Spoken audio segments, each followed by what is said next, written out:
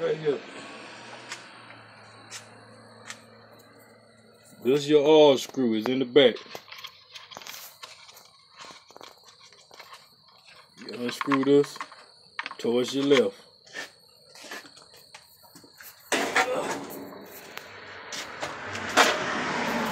Pause when you ain't gonna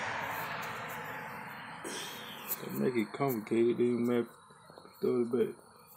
Uh this your oil, four cylinder, small engine. Do what you always use. When you go to Vance Auto or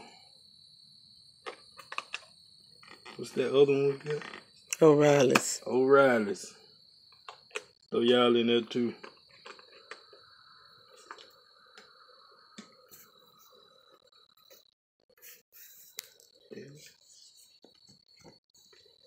Pause.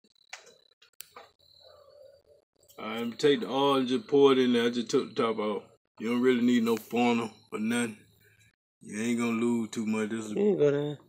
it's kind of like a funnel right there in there. It's leaking.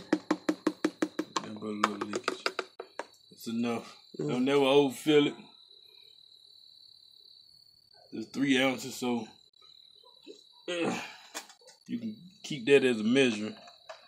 Screw it back on towards your right. Oh, this the gas. Got the black top. And this gas, it's gonna be uh probably much about the same four cylinders to two gallons of gas give or take uh leave your comments below and i can give you the, the exact amount never use that coin in your weed eater because most of the time the gas will still sit there. And that coin, that ether, turn the coin syrup and it'll block your uh carburetor up.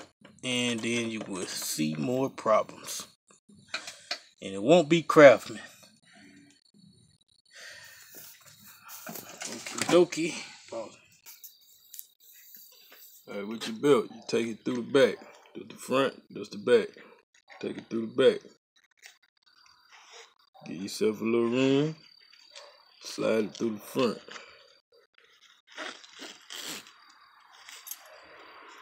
That should hold you.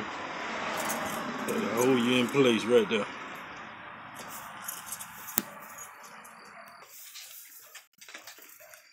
Clamp it right there.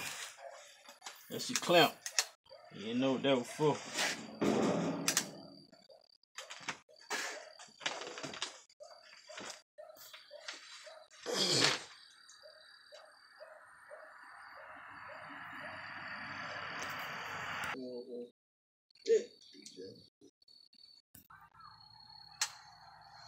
Alright.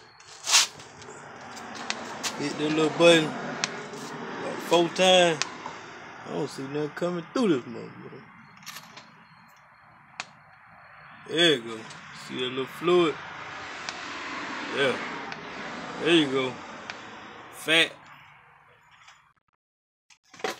Turn your switch on. Yeah, I'm gonna pull it. I gotta go on the other side.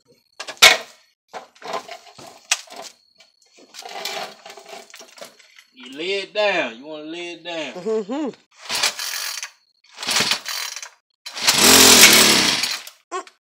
Not my car.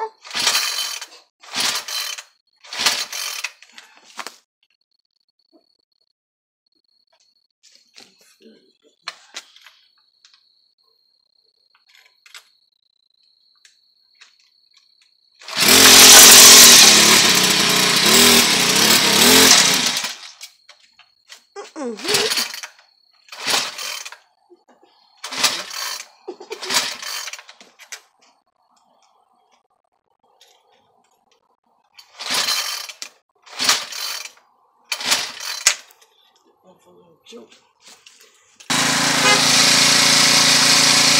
We out.